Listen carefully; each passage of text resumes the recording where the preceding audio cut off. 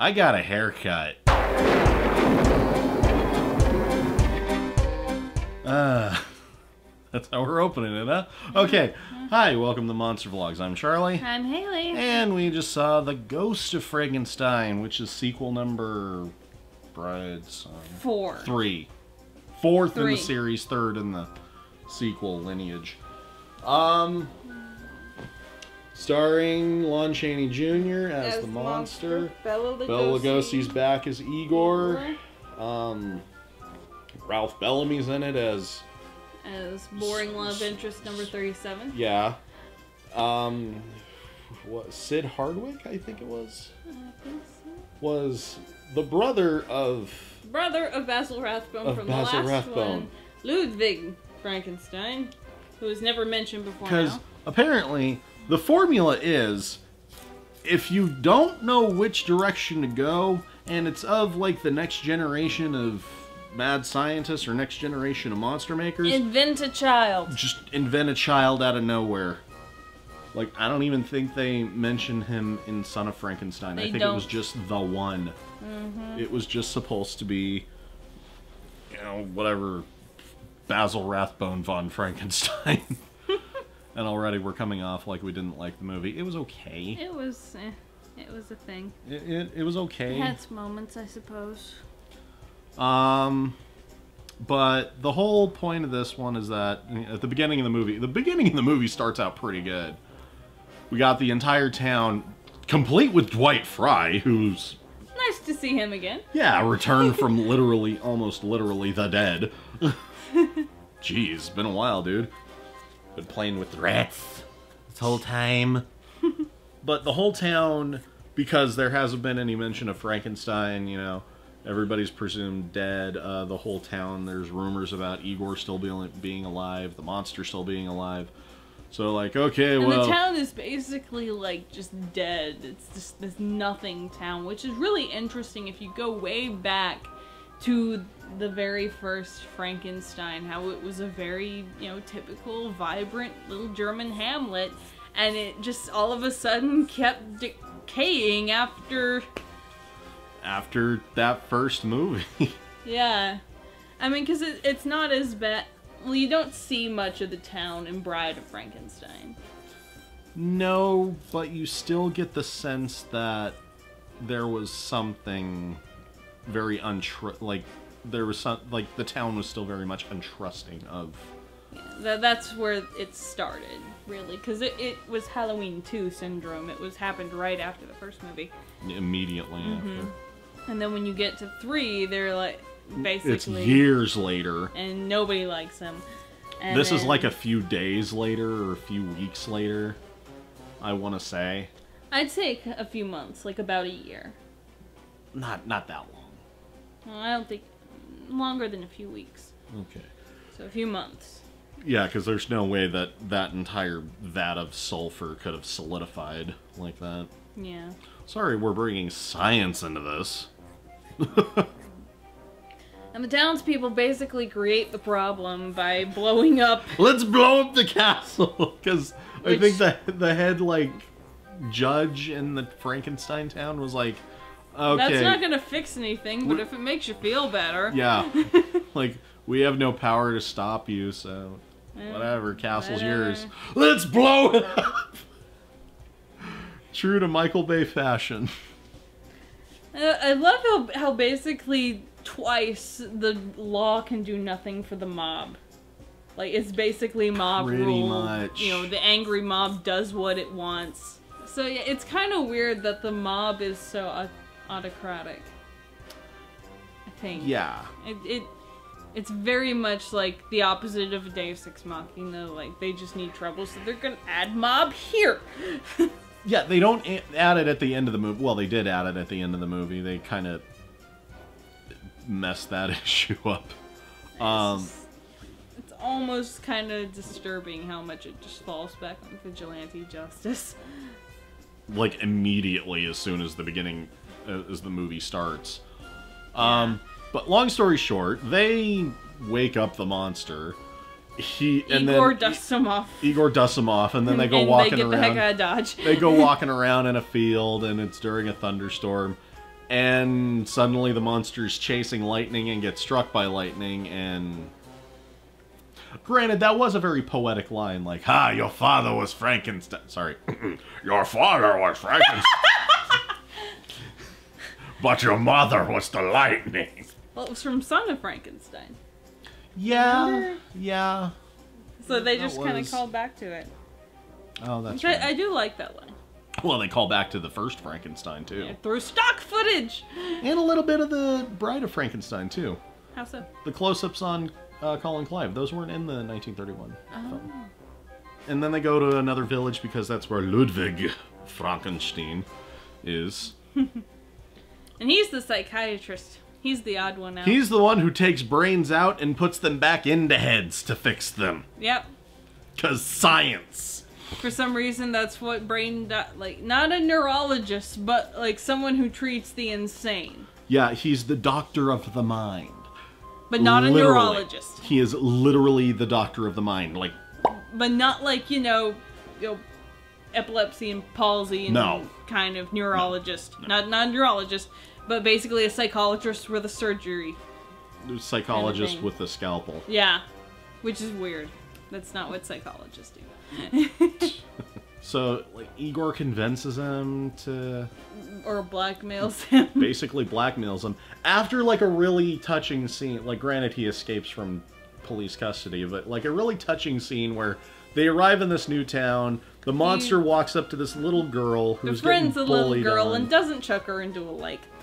no he just looks like he's gonna chuck her off a building i mean the plot still goes on they Mm-hmm. like find there's a weird moment where he's talking to his father's ghost which isn't Yes. colin clive because he want he's already made up his mind to destroy it. like the this new son of Frankenstein like makes up his mind to destroy the monster, and the only way to do that is, is by dissection. dissection. Take off each limb, take out each organ, scatter it to the four winds.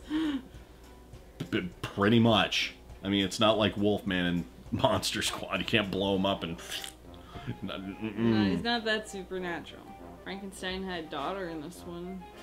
Oh yeah, like a like a female, fully grown daughter. I mean, obviously, daughter female. That's, We're that's both boring- tired. That's where boring, bland love interest comes into play. That's where boring, bland love interest comes into play, and that's kind of where the movie just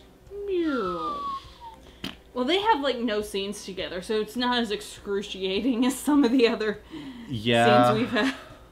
They like have barely any time together, so we're just like left to assume, okay, they're a thing. I mean, because it, it's really just mostly Doctor Frankenstein and and and, his assistant Lionel doctor, Atwill. who is Lionel Atwill, and Igor. and I Igor wish, just kind of conniving with each other. Yeah. I wish that there had been more time, like more devoted time between Frankenstein and his daughter. That that could have been an interesting um, relationship to develop because it. All these movies make it seem like there's this kind of genetic obsession with the monster that all the Frankenstein's have, like. Like, Dr. oh, he recognizes his you. Son, yeah, like there's this weird connecting kinship that all Like the almost psychic have. kinship. Yeah, I wish like there had been some aspect of that with the daughter, like not even directly with the monster, but just like, Okay. like you know, hey, Dad, you think that might happen to me? Instead of her being, you know, stock damsel, like, oh, father, you can't do this. Like, will I be doomed to be like I- I daughter wish- of Frankenstein? Yeah, I wish there had been kind of more of a, a just a, A relationship. chick mad scientist. Oh, I, I freaking love that. Frankenstein MD, YouTube. I mean, because, alright, the whole plot is like, okay, the monster kills one of Dr. Frankenstein's assistants, and, you know, he gets it in his head, like, oh, you know, after seeing his father's ghost. Literally the ghost Mm-hmm. of Frankenstein. Yay, title drop. Um, to put the dead assistant's head brain. brain in Into the monster's the head and, like, get So rid of, like, fix the mistake yeah, that was the made the before. original mistake way back in the first movie of getting the abnormal brain, and But Abby he- normal. But Igor wants his brain in that head. so he can get away from his friends. So I can never be separated and have the strength of a hundred men. then things will get bulbous. And things will get bulbous. I, I want Igor has Strong Bad's voice now. This is not changing. So yeah, the monster is then revealed to have Igor's voice because successful surgery, but then he starts going blind. And Which this, I like that twist. That is an I excellent like that. twist. Like, oh yeah, it wasn't the same blood type as Doctor. Kettering had the right blood type, but Igor didn't. and that's where we finally get the last bit of stereotype with the univer- with the Frankenstein monster and the outstretched because arms. he's blind. And sort of like that, like swollen over eyelids. Yeah, and that kind of squinty look. Mm. Like that was a different that was a different take on the the Karloff monster that Jack Mm. Pierce did with um Karloff or not Karloff. Uh, Karl. Chaney Jr. Oh. I like Um, Karloff's makeup so much better. Like it's perfect in the first movie, made so much better in The Bride, second. And then just Went downhill happened? from there. But there is obviously a reason for like the downtrodden everything. We still enjoyed the movie. I kind of fell asleep during it, but you know. I did read, um, because I was Wikipediaing the movie as we were watching it, that this marked the transition from the Universal horror being A movies to B movies. Like this started the lower budget, Yep. kind of you know cheaper, faster And thing. you know why, right? Why? This 'Cause was released in 1942. 42. Kids, we're in wartime. He I- goes blind, and then it's And then like fire fire, and- end of movie, and then the Yeah. doc- Doctor Frankenstein apparently dies because I don't know. The Hays Code needed him to die For some reason. for some reason. When a monster kills, a scientist hangs. Really did nothing wrong. Only he went. He went. It was a little, He went a little crazy He no, he basically just made a mistake. by trusting Lionel Atwill. Yeah, nope. Don't trust Lionel Atwill if you're in a movie, okay? Don't trust if you're the in man. a univer- if you're in a late 30s, early 40s Universal, Universal- monster movie, and Chuck he's him the out of mad your house. scientist, Chuck him at your house. you're not welcome. Get no. No, shoot, shoot.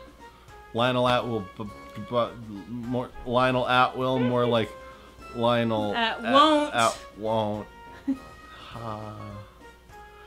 Yeah, I really didn't feel like I connected with any of the characters. This there was nobody to connect with. Like, Like, there, were, there, eh. were, there was a little sympathy for the monster, and then he started getting a body count, like immediately. He, I, he was at his most sympathetic when he had the little girl in his arms. Yeah. Me. Even though he had her body count at that point, he was just basically defending her. But as soon as But like that, that was as so soon as short lived, and that was so. As soon as Igor's voice like kicked in, it was just like Nope. I've checked out. he deserves like we he needs to die now. He I is felt like the bad guy. yeah, and I felt like Igor was a better villain in Son of Frankenstein. He was a he was way He- more conniving in Son they of Frankenstein. you know. Or this Igor was misused. They misused their Igor because you know there's there was something very subtly both sad and threatening about Igor and Son of Frankenstein. Like someone, here you have this someone is- they could is- not hang. who's so freaking disenfranchised and so like poor and downtrodden, but he's so bitter about it and he's so angry about it that you just simultaneously pitied and feared him. And there's not none none of that is there. He's you know, this Igor is just kind of Oh you're selfish, my friend. You know, it's not as effective in this one, and I'm not sure why, but they misused their Igor. Yeah. They misused their Igor. I mean, obviously, there's only so much you can do with a monster if he doesn't even talk. Well, When well, when he does James it, Whale did a heck of a lot with his monsters. like he didn't even grunt. Arr, Well, none of that. Didn't even Arr. grunt. Didn't even do that. It's like Yes, I, I I love Lon Chaney Jr. as an actor. He makes a wonderful Wolfman, but he didn't bring the same He makes- intensity that Boris brought. To he it. makes a good sympathetic character, like pre-transformation. yeah, but when you take away his voice when you take away his voice and, and when you take face, away his really. yeah, Because he had that, because, you know, when he's like low on makeup, he has that big old droopy puppy dog expression and you know when he's allowed to move his face, it's very sympathetic and very you know endearing. Mm-hmm. But this this monster, like his face was pretty much frozen the entire time. And you didn't, and like most of Lon Chaney Jr. was covered up, and what made him endearing was covered up. And you didn't have the same like acting with his eyes like Boris Karloff would do, or acting with you his couldn't see him. Yeah, like oh, Jack Pierce was so heavy on the eyes in this one. I don't know why either. I don't like you know Maybe just because he had, maybe it was because he had such a sympathetic gaze that you couldn't help but want to sympathize with him just by looking into the But into his eyes. like, Boris Karloff could make very sympathetic facial Boris Karloff can command an audience no matter what role he's given. I mean, like, it's not that Lon Chaney Jr. can't act with his body, but the way Boris Karloff acted with his body as the monster was so more, like, emphatic. And that man was an extra. Mm-hmm. I don't know. This one just u- misused like everybody. Although it was up, but it was still was enjoyable. It was how did that? How did that enjoyable. work? It was still enjoyable, but it wasn't as memorable to me. Oh yeah, this is gonna be completely and utterly forgettable. Just be like, okay, another by the numbers monster movie. Sad that it, it's sad that it has to be a Frankenstein movie. Yes, because that is my my favorite pair of monsters Like you, in the you- canon. Like, mm, you- it- after Bride, it's just like they didn't I, try. I, yeah, I liked Sun though. Son of Frankenstein- Sun tried more than this one, yeah, but this at it- least it in was, the story department. It was tried more than this one. trying to be Son of Frankenstein again. again. Like, if anything, you should shoot for Bride again. and and not only not only like was the monster not able to be as emphatic but the the scientist was not memorable. Ludwig frankenstein was not a memorable character and you need to have like two polar giant like a binary star of awesome between your monster and your scientist and they had that with colin clive and hey They had that- right. They had that with colin clive and, and boris karloff they had that with with uh Pretorius and boris karloff and colin clive that was like a triple triple, Triple threat entendre. and and um and they had that with uh, Basil Rathbone and and Boris Karloff And You know, because Basil Bela Rath- Lugosi. yeah and that was like the triple threat this one um It had Bela Lugosi, Bela and with that's it. Bela with poor writing a Bela with poor writing, and yet he was still able to like, like know, he worked with what he got he mastered that movie. Yeah. Like, but just mainly because no one else was really memorable.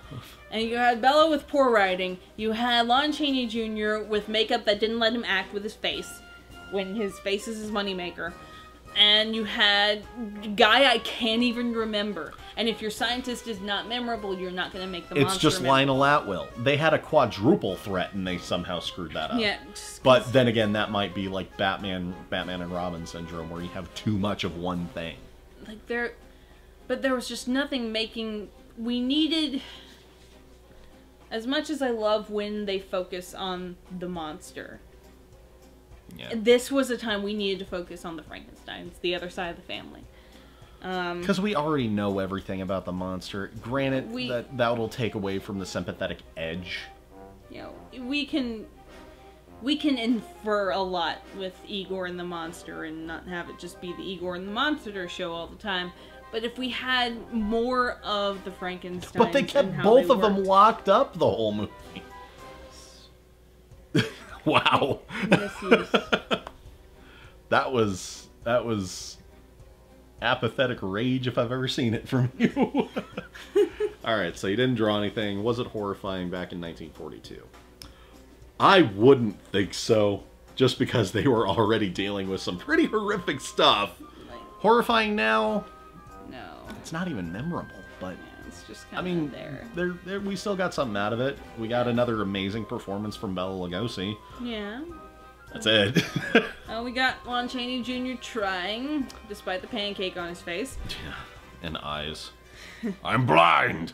What is going on? Obviously. The cheat, help me.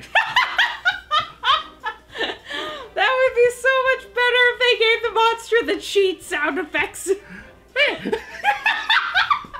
yes! Yes! Someone's gonna recut that. Dave, recut that. Recut it!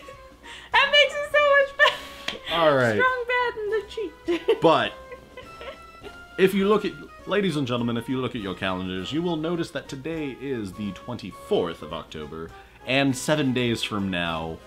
It's All Hallows Eve. Oh, how well we timed this. Booyah. We're gonna have a Halloween special with monster movies. Yep, we're gonna make it a double feature. And a surprise! What that double feature is, we ain't telling. Mm-mm. So you will just have to go to that next video, subscribe to find out. Mm-hmm. Yes. That's that's the And in the comments, you guess.